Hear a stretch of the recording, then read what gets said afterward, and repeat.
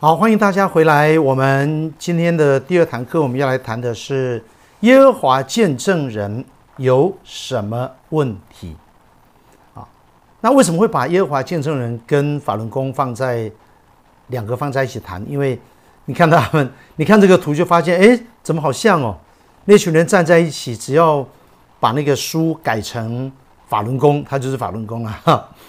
啊啊，当然有个很大的差别哈，就是耶和华见证人比较多是外国人。法轮功我们刚刚讲，法轮功是一个很典型的由就是自己老中这边哈，由这边我们在吉林省李洪志他所创立的。那耶和华见证人他就基本上完全是一个外国人的异端。什么是耶和华见证人？耶和华见证人可能大家还没有那么熟悉，可如果说守望台，很多人说啊，我知道，我听过，我听过守望台。耶和华见证人是一个，他们就是说，他们从啊，他是一个基督教的异端哈，他就不认可三位一体的异端。他是一八八一年，很久喽，一八八一年，他是由。这个罗素在美国的宾州 Pittsburgh 哈建立的有一个书房，叫做守望台。所以为什么耶和华见证人又叫做守望台？对，就是因为他们有一个刊物叫做守望台，它是一个出版的一个杂志。所以一八八一年他就开始宣扬一些他认为的基督教的观念啊，那他的基督教的观念。跟我们的观点那里不一样，我们就后面再讲。他觉得一八八一年他就开始讲，然后一直到了一九三一年，他们就正式把守望台给了一个新的名字，叫耶和华见证人。他是根据哪里？根据以赛亚书，他说耶和华说：“你们是为我的，是我的见证人，是我拣选的仆人。”所以他说，我们这一群人，我们叫做耶和华见证人。它的历史相当悠久哈，其实早在一八八一年就开始了，然后到一九三一年的时候，他们就正式成立了这样的一个宗教团体，叫耶和华见证人。那也有人说守望台，守望台是旧的名字，耶和华见证人是新的名字。好，那这个团体呢，它的最高领领导单位，它的总部是在美国纽约的布鲁克林。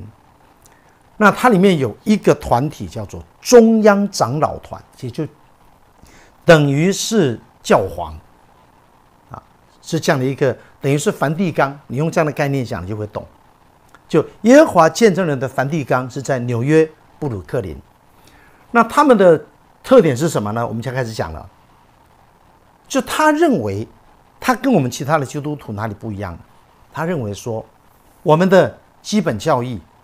我们的传道方式，我们的生活准则，我们都恢复《使徒行传》的时代。你说这个很好啊？对，这个是很好。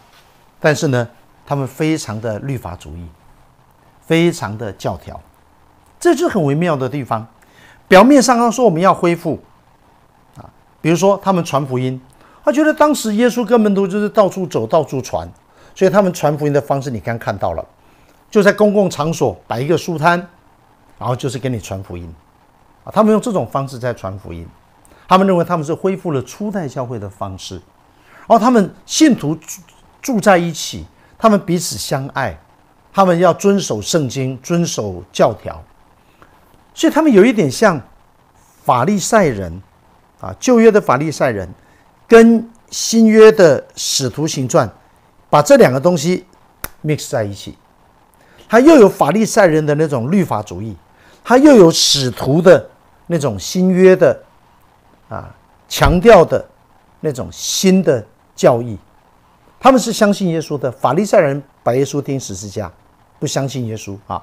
但是呢，他们是相信耶稣的啊。那这个就是，所以耶和华见证人是异端当中比较不容易分辨的，因为跟我们是。蛮接近的，啊，当然有几个特色，这几个特色我不能够完全说它错误，但是这个是它的特色，因为它的错误，我们等一下会针对那几个明显的错误，那是错误。我现在要讲的这几个特点，我觉得是特色。比如说，第一个，他拒绝服兵役，他也拒绝拒绝什么像国旗、国父一样行三鞠躬礼，他拒绝。他们的特色就是这样，他们不输血，不捐血，因为他们认为血里面有生命，他们认为我的血就是我的血，你的血是你的血，所以。他们的医疗行为里面，他说：“哦，对不起，我们是耶和华见证人，我们是反对输血，啊，就是你的生命只属于你，你的生命不能够过渡到我这里来，这是他们的特色。OK，我不能够说这是他们错的地方，因为我们在讲异端的时候，我们是针对他的教义上的错误，你才可以说他这样是错。他在生活上或者他在个人有所坚持，那这个是他的权利。我今天我说我就不接受。”我不输血，我不捐血，我不当兵，这个你不能够说他是异端呐，说这是我个人的力量，我不能吗？那你把我抓去关呢？那我的这是我的自由啊，啊，所以这个情况是这样子哈。那他们也不过复活节，不过圣诞节，对不对？那也有些基督徒也是主张说不应该过这个节日，所以这些东西呢，就不能够拿来说他们错，这样大家听懂吗？他们拒绝庆生，这个好笑吧？哈，好，为什么会这样？我们在后面都会来讲，甚至于他们极端到一个程度，说我们不挂十字架，因为十字架也是一种偶像。圣经里面说，你们不可以拜偶像，不可以有一个像，是十字架也是一种像。那这是他们的看法，可是你不能够这样说他错，好吗？所以我们现在讲到了这些部分，啊，我们现在讲这些部分呢，都是它的特色。不是他的错误，他的错误呢？我们等一下要来讲。好，好，那我们先来解释一下哈，有几个他们的就是很特别的地方哈，这个蛮有趣的。来，为什么不当兵呢？我来解释给大家听。圣经里面说，在以赛亚书说，要把刀剑打成犁头啊，而且呢，也不再学习。战事就是我不再学习战争，这是以赛亚书。可是问题是，这个描述描述的是未来在天国里面啊。那他们就强调说：“哦，圣经上讲，我们不应该打仗，我们不应该当兵，我们当然反对战争。我觉得不管你什么宗教，全人类我们基本上我们都是反对战争，因为战争是太不文明了啊。可是你反对战争。”是代表你家都不需要有武器吗？那这是两回事。我反对战争，我反对打仗，但是我家里可不可以有枪？可以，为什么？因为我要自卫啊，我要正当防卫啊。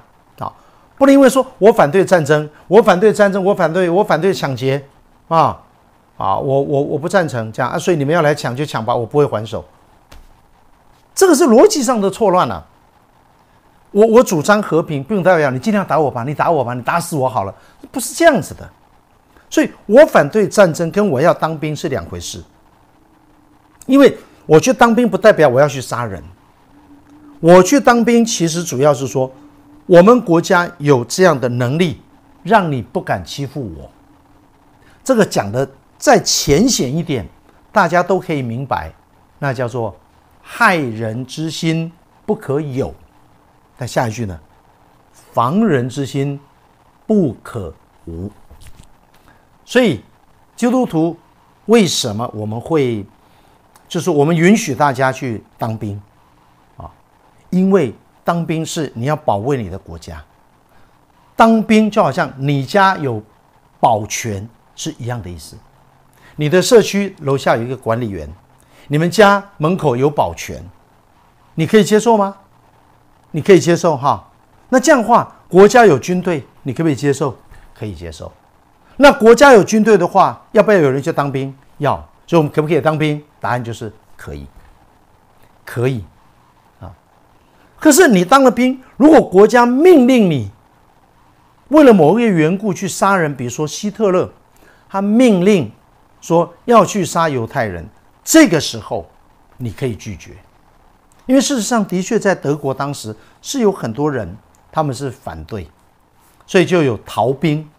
就是说我，我，我逃兵，不是因为我不想保卫国家，我逃兵是因为你叫我去杀一个我认为不应该杀的人，我没有道理杀掉他，是因为他是犹太人，所以我我不要，所以他就逃兵，所以这个是 OK 的。所以当兵跟杀人，请你把它分开。当兵主要是防卫，不是杀人。啊，那我们反对任何国家有战争。可是你不因为反对战争，你都不要编国防预算。我们国家反对战争，我们没有飞机，没有大炮，没有坦克，我们也没有潜水艇，我们都没有这些东西。那那这样，你反对战争的下场，就是被一些被一些残暴的人啊，他就欺负你了。所以这个我觉得是大家要把这个观念要要分清楚哈。那耶和华见证人就是你听到这里，你应该开始有感觉了。他们就是会极端解释圣经。他们不看上文下文，也不看时空背景，也不看这句话在整本圣经的意义，他就拿一句话，然后就往死里打。比方说，他们旧约引用以赛亚书，新约引用马太福音，因为当时不是彼得不是耶稣被抓吗？彼得不是拿刀出来，后来把大祭司仆人的耳朵削掉了，那也是不小心的，也不是剑法好。耶稣就把他耳朵装回去，然后就跟彼得讲说：“收刀入鞘吧，凡动刀的必死在刀下。”耶稣的意思是说，不要想要用武力来解决问题，所以这还是一样是一个反战的概念。好，那你不能就过度把它解释成所以啊，又说不可以拿刀，那你这样的话，我们妈妈们在厨房做菜，全部只能拿剪刀了，也不能拿菜刀了。其实这个都是过度的解释了啊，所以让大家知道一下，就是说耶和华见证人主张。不拿啊，不当兵，他们是用这样的圣经根据，但是这个是错误的解释。OK，好，那我们再来看下一个，为什么不庆生？这个就好笑了吧？你说这个庆生很正常啊，大家生日快乐，做个蛋糕，这个有什么了不起？哎，耶和华见证人他们是极端的律法主义者，他们就认为说啊，根据。我们在古书里面查到，人类庆生是因为以前的人相信妖魔鬼怪会在人生日那一天攻击他，所以如果有亲朋好友在他的身边，给他祝福、唱个歌、吃个蛋糕，就可以保护他。这样，所以呢，我们觉得这是乱来啊！耶和华见证人就说，我们觉得这是一种荒谬呀，我也觉得是荒谬啊，我也觉得这种传说是。迷信啊，可是不等于我认为是迷信，我就不可以庆生啊。这个就是你知道，逻辑上他们就属于那种解释东西解释的很偏激，解释的很极端，解释的很绝对，所以不可以庆生啊。他们说基督徒不应该认同这些，我我我我没有认同啊。我给一个人，我是庆祝为他为他来庆生，为他唱生日快乐歌，然后为他祷告，感谢主，为他。我们受造奇妙可畏，啊，为着这一天，他来到世界上，我们大家高兴。我这个东西跟什么妖魔鬼怪攻击他，一群朋友保护他，我跟这个没有关系啊。你不能因为有一些人庆生是用错误的态度，你就告诉全世界的人说你们都不可以庆生。那你这样讲，有人结了婚后来离婚，那你其他人都不可以结婚，这个完全逻辑是不通的。他们对这些东西的解释是。很偏差的，啊，但是呢，对于有一些比较 道德洁癖的，或者对于有一些自我要求哈极高的，他们就觉得对对对对对，我就是要超级精准去讨神的喜悦，就是我尽量就是不沾染任何的世俗，我尽量超级的圣俗二分，我尽量的就是我一定要非常非常的圣洁。啊，只要有世俗的人用，我就不要了。啊，你摸过，我不要了。这叫做道德洁癖。啊，所以耶和华见证人是比较有这样的感觉。但是我要说，这是他们的教义，但不是每一个耶和华见证人都有这种个性，这个是分开的哦。好，你不能够说啊，他他是耶和华见证人，他就是有这种人，不是这样子。我们现在是针对他们的教义，当年创办的人为什么会创办出这种信仰？我们谈的是这个东西。后来相信的人，不见得有这么强烈的情绪，所以这个是我要跟大家说明一下。好，那他们不庆祝圣诞节，那这个原因比较容易理解，因为很多基督徒也的确不庆祝圣诞。第一，因为圣诞节这个是源于异教啊，然后呢，日期也不详，就耶稣哪一天生日你也不知道啊，因为圣诞节本来是庆祝太阳神的节日，后来就把它转化为圣诞节，所以很多人认为说我们不应该过圣诞节，至少不应该在十二月二十五过圣诞节。耶稣。耶稣的门徒没有告诉我们耶稣几月几号生日，我们不需要特别庆祝生日。你庆祝生日是有什么特别的意义吗？是像刚刚说的这一天神会会不会保守你吗？还是是像法轮功法轮日说的，你在这一天做功德可以得到一亿倍吗？所以，所以你反对过圣诞节，我觉得这是 OK 的。但是，如果有人要过，你也不应该禁止他吧？如果今天我过圣诞节的心态是说，哦，我借着这个节日，我来跟你传扬，我借着这个日子，我们虽然不知道哪一天，但是我们借着一定有一天是耶稣的生日嘛，哈。那不管哪一天，反正我们是用这个日子是要告诉你，耶稣基督降世为要拯救罪人。好，那请问，如果有人要过圣诞节，可不可以？可以吗？你说我不想过，我不认同，可以吗？那别人要过，那也可以嘛，就不要那么偏激啊。所以这个就是我们一直一直强调的事情。所以他们认为说，早期教会也没有圣诞节啊。你去读圣经《使徒行传》，没有圣诞节啊。好，他们没有庆祝圣诞节啊。对，没有庆祝圣诞节，可是却有清楚的记载，天使向牧羊人显现，向玛利亚显现。天上有星星引导博士，东方博士，这个是存在的，所以没有说要庆祝，可是有没有庆祝？我我我可以说，我也可以说有庆祝啊。耶稣生日那一天，耶稣生日的那一天有博士，呃呃有天使显现，然后天使在那边庆祝，说天上荣耀归真神，地上平安人蒙恩。为什么不可以庆祝？他有庆祝啊，只是庆祝的日子不知道是哪一天。那你有必要抓着这一点，然后穷追猛打吗？这个个人的看法就不一样。所以我们的答案就是：你要过就过，你不过就不过。你过的人不要骂不过的人，不过的人不要骂过的人。只要你知道是怎么回事就好了。好。那么另外一个原因说，圣经上告诉我，你们要纪念耶稣为你们死。所以这个我也是。我也是被打败了哈，我们只能纪念耶稣的死，为我们钉死在十字架上，不能纪念耶稣的生。那没有生哪有死呢？这个是有点不通啊。好，我们可以纪念耶稣的死啊，我们应该纪念耶稣的死，但并不代表我们不可以纪念耶稣的生。啊，所以你会发现，我们讲到他们几个他们的特色，这都不是错误哦，各位，我还是要强调，我讲到目前为止，我都没有说他哪里错，因为他哪里错，后面我就会讲。他错就是错，那个就很清楚教义上的错。我们等一下来讲。好，来吧，哪里错哪里错。第一个，圣经有问题啊。他们的圣经叫做新世界译本，这个很厉害的。什么意思？因为你看不出来哪里不一样。各位，如果不说，你自己看着这个圣经，你会觉得，哎，他跟我们现在读的圣经不太一样，你不觉得？他完全没有，他完全没有想要弄一个让你一看就知道不一样，没有，这叫做鱼目混珠。所以我才会说，耶和华见证人是所有的异端的里面，一般的信徒最没有能力去分辨的，因为他跟我们真的很像，包括他们用的圣经，你说啊，天主教还有玫瑰经、圣母经，你今天。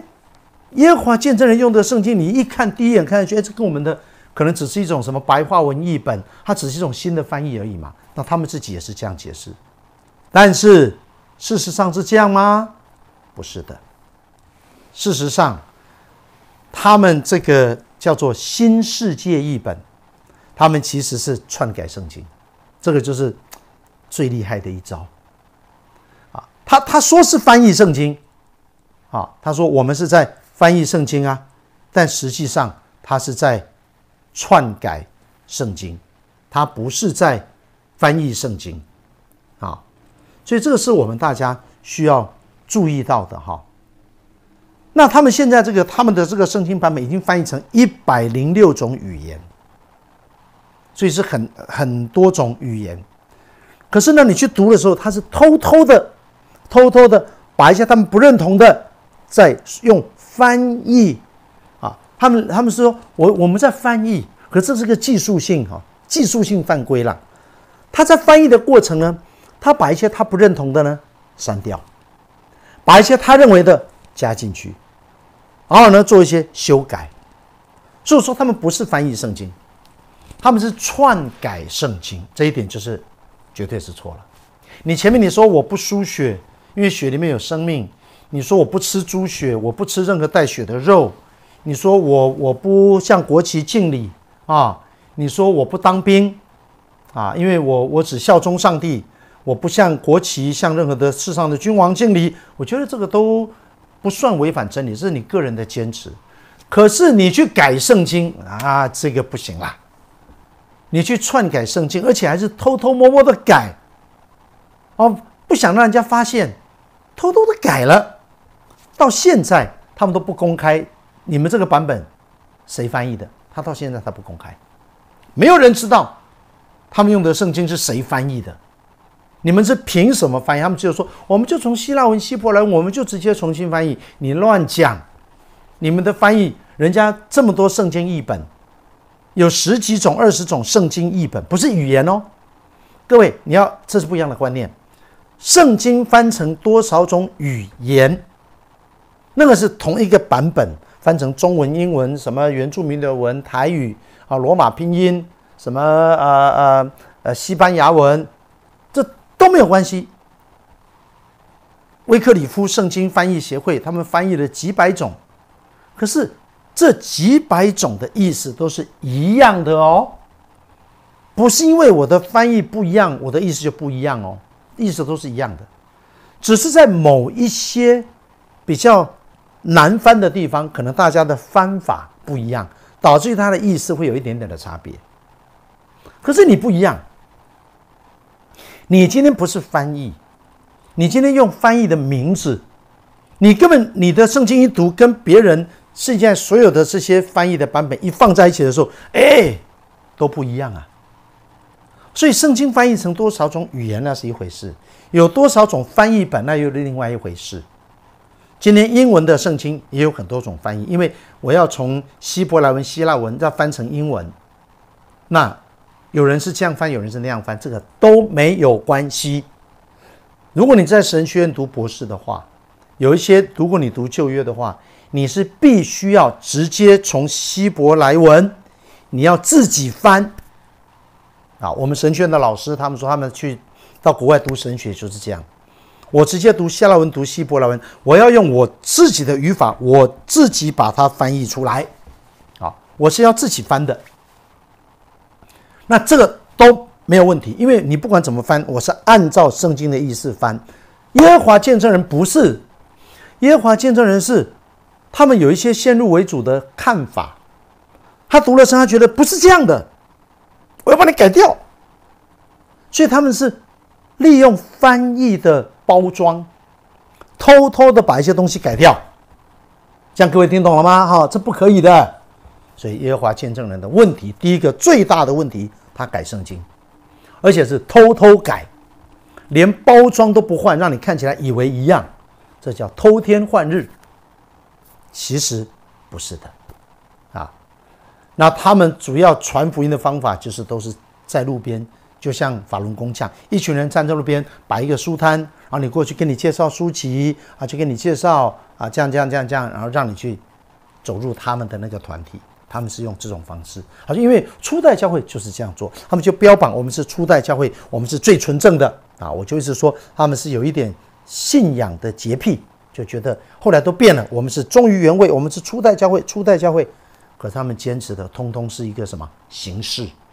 他们坚持的都只是一个外在的样式。耶稣已经说了，敬拜上帝用心灵诚实，不是在某个山上，在耶路撒冷，啊，不在乎这些仪文样式。是用我们的心灵，那耶和华见证人犯了这个严重的错误。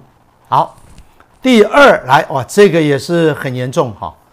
这个我们要多讲一点，他们不接受地狱，这很妙，这真的很妙。他们的经文是用什么？传道书九章第五节。传道书九章五节说：“死了的人毫无所知。”他说：“哦，你看，没有地狱，为什么要讲没有地狱？没有地狱，人家比较会接受嘛。你跟人讲说你要下地狱，谁要听？没有人要听下地狱。”所以他们就说：“哎，你看传道书有讲死了的人毫无所知，所以呢，没有地狱。那你说没有地狱，你这传这什么福音？OK？他们的观念是这样，他们的观念是认为说，人死了就接受审判，信耶稣的上天堂，OK？不信耶稣的下地狱，哎，不 OK？他说。不信耶稣的怎么样？神就把它消灭掉了，这样懂吗？他们说不信耶稣的就就就就没了，就上帝就把他们说你们这些不信的你们就消失，人间蒸发，所以他们就不见了。所以死后有没有审判？有，有审判。审判就是信耶稣的人可以跟上帝在一起，不信耶稣的人，上帝就不，啊，就啊，好像那个那个电影演的啊，那个大手指。那些人就就不见了，那些人就不见了。金手指啊，漫威里面就一个大魔王，还有一个金手，这样一啪，啊，地球上一半的人就不见了。所以耶和华见证人就认为说，那些坏人，哎，慈爱的上帝，上帝蛮有慈爱，怎么会把人放地狱？我不能接受，我受不了。我相信上帝。我接受创造论，我接受神的慈爱，我接受他差遣耶稣基督成为我们的救主，这都太好了，amazing wonderful。可是你说，这样的一个这么爱我们的上帝，会把他的儿女丢到地狱里面，可能吗？不可能，绝对不可能。所以，人死了以后。你也可以说他有审判，你也可以说他没审判。他们对审判的观念跟圣经是不一样。圣经说，你死了以后，你要为你做的事负责，没有记得说死了就算了，没有，没有，或善或恶受报。他们说有啊，有啊，他作恶的受报就是不见了。哎，各位，一个父母说我很爱我的孩子。你考试考到，我就带你去吃冰淇淋；考不好的话，那就没有冰淇淋吃了。请问这叫处罚吗？这不叫处罚。处罚是他要为他做的错事付出代价，而不是说取消奖赏就是处罚，不是这样的。所以这个观念，我觉得是耶和华见证人非常迷人的一点，因为世界上有太多的人，他们的心里面不愿意相信地狱。他觉得有地狱这件事情实在是太可怕了，他很怕他下地狱。现在听到没有地狱啦，就是你人你你做坏事哈，你没有资格上天堂。那我不去天堂去哪里？那你就不见了，你就就就没了，就 delete 就没有了。没有地狱，没有地狱，没有那么恐怖啊啊，还好，就是说最坏就是不见而已。啊，好一点的话还可以上天堂。哎呀，这个人生太有保障了，很吸引人啊！这种理论呢，啊，大家喜欢听。这这个就很像父母亲，就是把小孩子宠坏了，说我我很爱你，我就绝对不会处罚你的，你不用担心，你是害死这个小孩了。啊，其实有没有地狱谁说了算？来，我们来看马可福音，谁说了算？当然是耶稣说了算了，对不对？我们来看马可福音讲说：倘若你有一只手叫你跌倒，就把它砍下来；你缺了肢体，少了一只手，进入永生，强如两只手落到哪里？地狱？怎么会没有地狱？入那不灭的火里去了。还讲哦，你瘸腿，一百一百的进入永生。也强过你，两只脚很好，被丢到地狱。耶稣不止讲一次啊，啊，第三次，你只有一只眼睛进神的国，强如两个眼睛视力二点零，却被丢在地狱。三次，耶稣说地狱是真的，因为公义的神，他一定会让你为你做的错事情负责任，这是宇宙的定律。你可以不相信，但是你会冒很大的危险。这样大家听懂吗？你可以不相信啊，因为没有人可以强迫你要接受有地狱的观念。那万一有呢？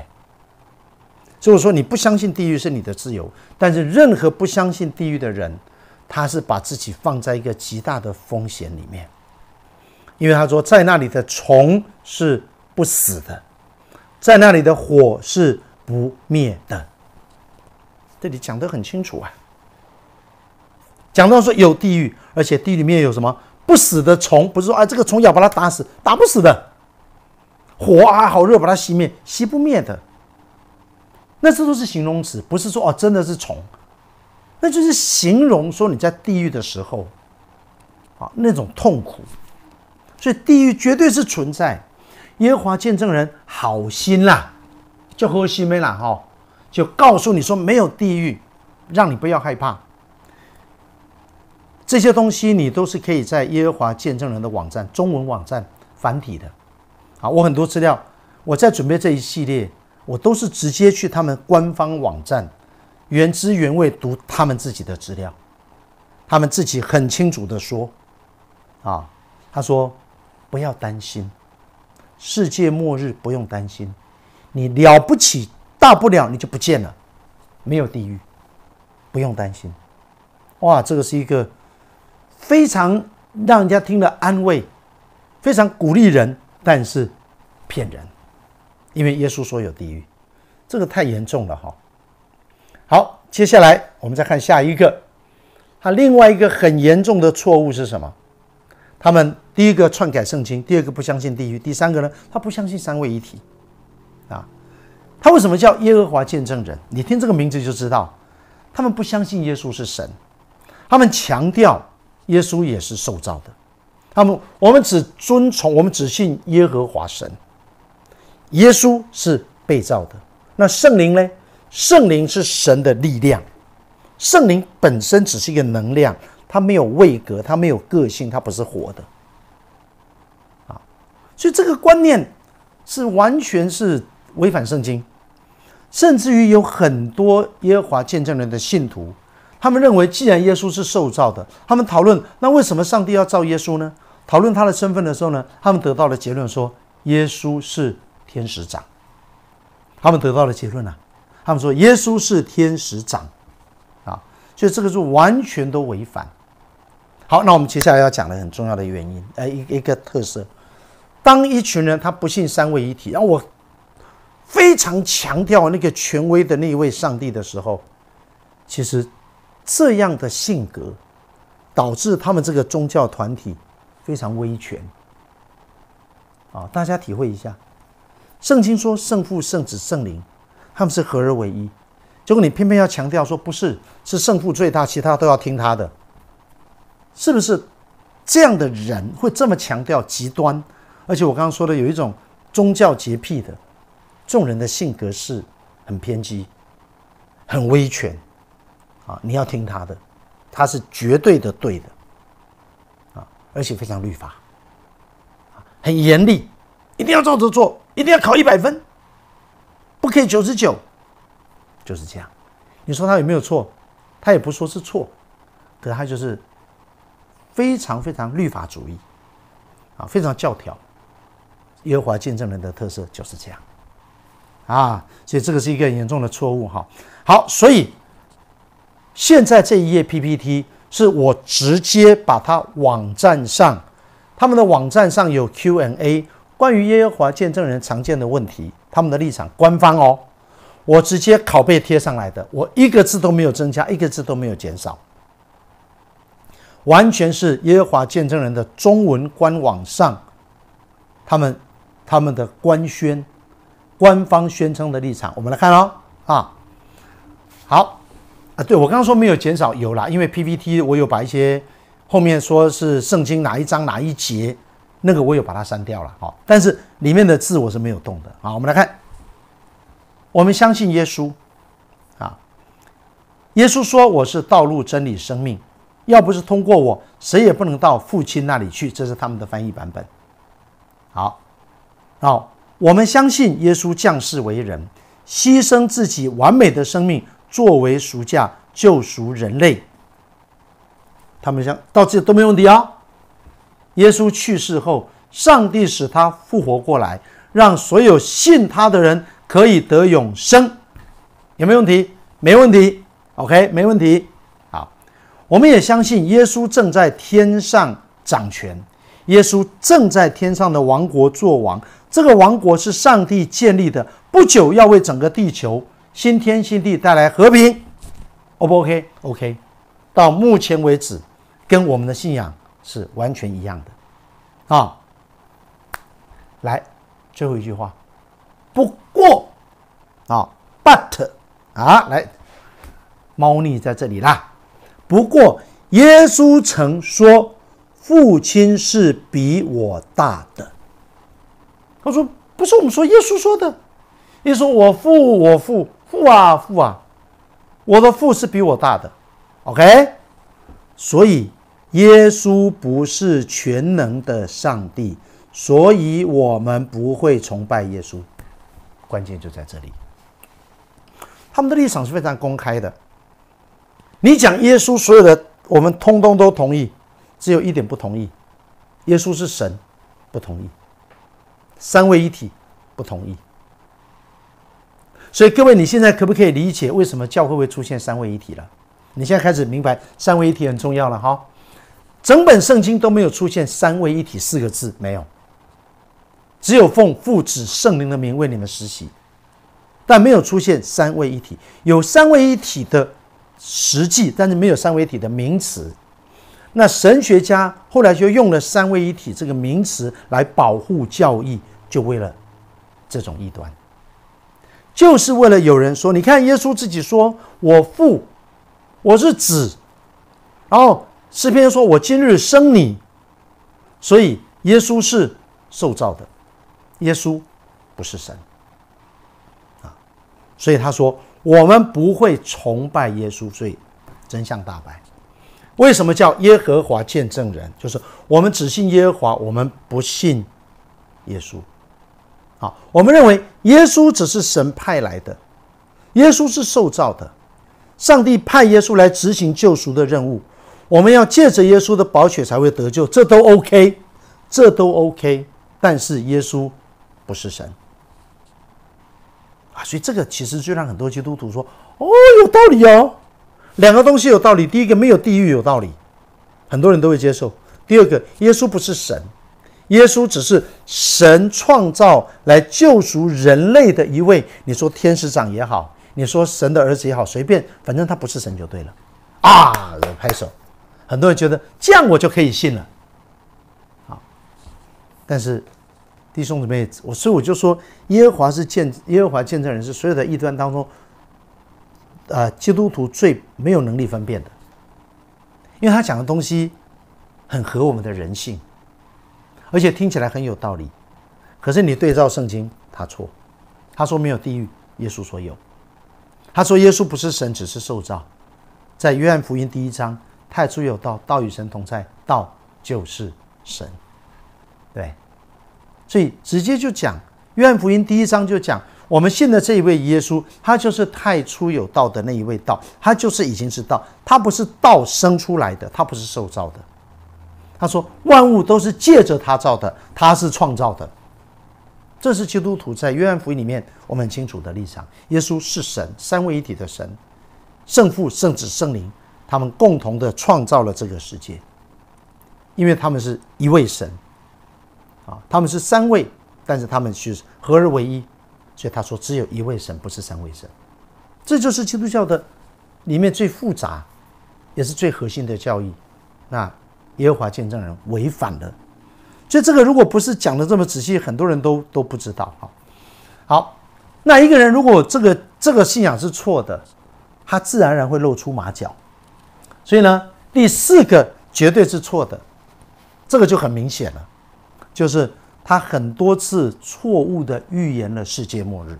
耶和华见证人，他的创立者罗素在一九一四年很早了啊，一九一四年他就认为外邦人的日子结束了。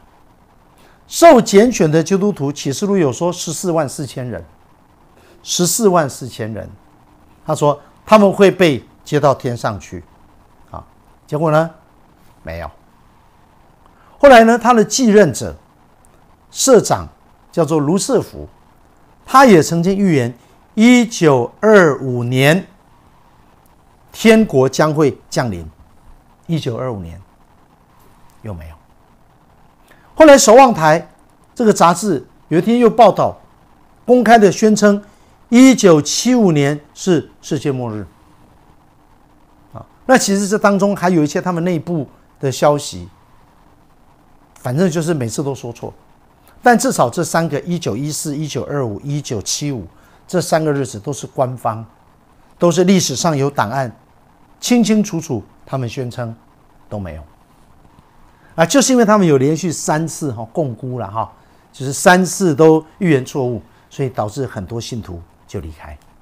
所以你现在发现耶和华见证人有一段时间，我小的时候，耶和华见证人那时候很兴旺。但是到这几年已经慢慢整个很明显的都没落了哈，那你一定会问啊，他们讲耶稣要来，后来没有，那他们怎么自圆其说？那也很简单，他说哦，他是在天上掌权啊，他没有来，但是他依然在天上掌权，所以话都是随便他们说的啦。好，那我们结束以前，我们来看一个真实的见证，我觉得真实的见证是最有说服力的。这个是二零一五年二月八号，这个当然不会在他的官网上嘛，因为他在拆他们的台，怎么可能放在官网上啊？这个是我另外看到的哈，啊，我我也会把这个到时候这个见证我把它放在我们的 Line 的群里面啊。好，这个是有一个弟兄，他在传统的教会，他在新西兰，在新西兰教会信主，一个国内的朋友，然后呢，他信主三年。后来他实在是很厌恶教会里面争名夺利啊，所以他就心灰意冷。结果无意中呢接触了耶和华见证人，在新西兰，他就发现哇，这群人人品非常的高尚啊，而且他后来从他们的耶和华见证人跟他们讲说：“你知不知道，我们是在德国纳粹期间啊，我们是唯一反对大屠杀的团体耶啊。”我们是站在真理的这边，啊，所以我说这个跟呃法轮功的真善忍还蛮像的哈，我就把这两个放在一起讲，啊，他说我们我们这耶和华见证人是最有爱心的，啊，我们是要活出神的爱来的，所以当时我们反对。啊，那这个反对当然这个要给他们拍拍手，这个他们是做的很棒的一件事。啊，可是一个人的行为。跟他的呃教义，我们还是要分开来看的啊。所以这个弟兄他就觉得哇，你们太棒了，所以他就很认可他们。而且他说到现在，即便我离开耶和华见证人，但我现在我很诚实的说，那一群人是我在世界上遇过最有爱心、人最好、最会让你感动、活出耶稣的形象的。他说，我虽然离开耶和华见证人。但是我要说，那群人到目前为止，我依然十分的佩服。而且他开始加入他们之后，他就发现说：“哇，这群人不像传统教会争名夺利，他们真的是没有任何的目的，很单纯的火热服侍主，热心祷告、侍奉、查经，而且他们的关系很亲密，不像传统教会里面勾心斗角，烦死了。”好，他说那一群人素质之高的。品格非常的高尚，啊，但是，but 又出现了。他说：“我我跟他们深入久了一点之后，我就慢慢的发现，这些人真的是很好，可是好到有点冰冷，就好到是有点不能说自命清高了哈，而是说他们好到有点不呃不问世事，啊，好像山上的仙人这样，非常非常的好。他说，可是呢，好像。”少了一点人味儿，就少了一点真实感，少了一点有血有肉的感觉，啊，然后呢，他就发现说，关键就是因为他们只相信旧约的上帝，是那种要遵守律法、讨他喜悦。上帝，你看我很乖，你看我很好，你看我有十一奉献，你看我都做到了。他就发现他们不讲耶稣的，因为他们我们刚刚讲过，他们不相信三位一体嘛，哈。所以这个弟兄，他很快就发现，哎，怎么这个跟我认识的信仰不一样哦，跟我读的圣经不一样哦，啊。他发现这些人行为真的很好，可是你要想跟他深入他的内心，想深入他真实的整个真实的人的时候，他发现他还是有点包装，他们还是有点冰冷，这样。然后他最严重的事情是，他就发现说，掌控一切的是纽约的中央长老团，啊，这个是这样，是他有一次。他们教会里面有一个弟兄，也是从传统教会去的。有一天就跟他说：“你不要再去了，这个有问题。我给你看一个文件。”他就给他们看，他们图书馆里面有一个文件，那个文件里面就是在讲他们的开会的一些记录。他们就在讲，他们在造一个十四万四千人的名册。他们说，只有全世界自古至今只有十四万四千人得救，而且都有名字。这个弟兄说：“这个不不可能啊！对你十四万四千人，你到了一八八一年才开始的，那之前的人去哪里？而且他说，在纽约的名册早就超过十四万四千了。他就这个很勇敢，问过他们说：‘哎，你们说十四万四千，可是应该超过吧？’他们他们都回答说：‘啊，因为有一些人后来被教被盗了啊啊，有一些人他是假的。’反正我们名字报上去，啊啊，真的假的，上帝来决定，这这很荒谬嘛！他一听就觉得你们这个是很很很诡异啊！而且他后来发现这个叫这个有点像神秘组织，其实到后来一切都是中央长老团。他跟他们在一起久了，就发现到后来刚开始不觉得，到后来就慢慢讲中央长老团。他问过他们说：“你们怎么都不讲新约，都讲旧约？”他说：“会啊，会啊，我们先讲旧约，我们后来就会讲新约。”他说：“我去几年了，他们也不讲新约，他们也不讲耶稣。他们信仰其实就是一个，我刚刚就说了，就是一个法利赛人的信仰。然后呢，结合了新约使徒的传教的模式，二合一，这就是耶和华见证了。所以他后来终于明白，说：‘哎呀，这其实我是参加一个宗教团体。’”他自己就幡然醒悟。好，所以我们就要问我们的结论：怎么看待耶和华见证人？在众多的异端当中，这个是一个非常严重的。为什么它很严重？第一个否认三位一体，这很严重；第二个否认地狱，啊，然后再加上三次预言都说谎。各位，我们反过来想，谁最不喜欢？地狱，谁最讨厌三位一体？谁最会说谎？你用这个角度来想，答案就是堕落的天使长。这个堕落天使不要讲地狱，不要讲地狱，我不要听地狱，我不要听地狱。啊，耶稣不是神，你们信耶稣没关系，他就是很厉害的教主，他不是神，不想承认耶稣是神，啊，又说谎，这三个特质。放在一起，答案其实很清楚，背后是谁？我想背后就是堕落的天使长啊。所以呢，基督徒哈，我们真的有机会的话，我们还是要积极向这些人传福音，鼓励他们说：你们要自己去读圣经，不要读你们翻译的，你们那个翻译的有问题，还有那么多版本，你们去读一读，让他们知道说他们他们被误导了。而且要告诉他们，不要被组织掌控，什么中央长老团，啊，不要被他们掌控。但是其实很难，真的，异端这些人都已经信到走火入魔，都很钻牛角尖，很难让他清醒，非常困难，只能够真的就是祷告，求神怜悯。好，所以希望今天我们上的法轮功跟耶和华见证人，帮助大家在真理上有更清楚的分辨力。OK，好，那我们一起来做结束的祷告。主，我们求你帮助我们，让我们真的要知道，我们透过这些异端，我们就知道，哦，原来有一些人他们在这里出错，哦，有一些人在那里出错，那我们就要避免这些错误，帮助我们在真理上奔走，直到见主的面。求主赐福我们弟兄姊妹，我们在疫情期间出入的平安，有要回台湾的，有要回啊出去旅行的，有到各地的，都求主保守看顾，一些荣耀归给你。祷告奉耶稣的名求，阿门。好，谢谢大家。